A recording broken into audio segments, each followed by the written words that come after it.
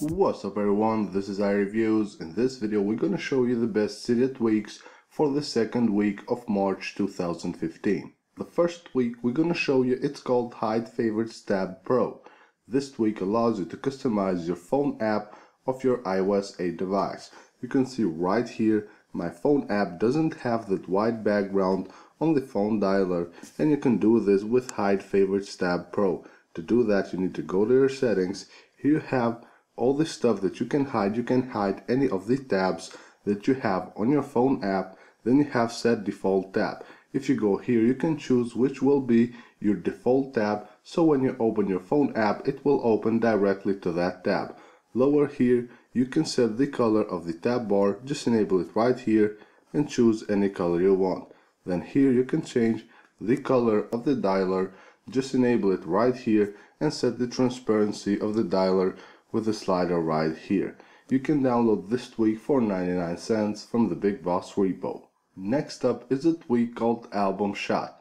This is a very useful tweak which will create an album on your photo library for each of the apps where you take a screenshot. So for example, if you take a screenshot on your calculator app like this, it will save this to an album called calculator on your photo library. You can see right here I have all the apps where I took screenshots and it will save each of these screenshots on an album with the name of that app. This tweak doesn't have any options to configure, you can download it from Cydia for free.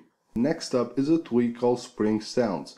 This tweak will allow you to customize the UI sounds of your iOS 8 device.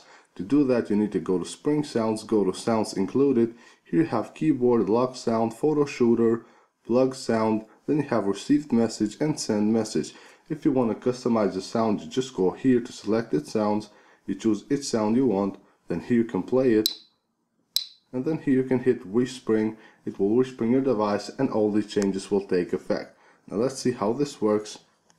You can see here when I type we have a different sound on the keyboard. Also the photo shooter sound is different.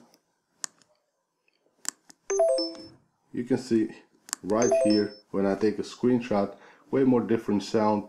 Very cool tweak. You can download it for free from Cydia. Next up we have a tweak called Calypso. This tweak allows you to customize different stuff on your iOS 8 device. Now the first thing we have here is an enable button, then we have Twitter settings. You can see block tweets and also have new tweets banner. Lower here you can disable the page dots, then you can enable the landscape mode for your home screen and also for your lock screen. You can see right here it will enable the landscape mode for your home screen and lock screen. Very cool. Now if we go back, you can also disable the voice control. You can do the same with the spotlight search and you can disable also the lock screen blur and tint with the switches right here. Lower here you have folder settings, you have nested folders, which means that it will allow you to create new folders inside of a folder. Then you have pinch to close folders, then you have icon settings, never show beta dot, and also you can remove the icon labels.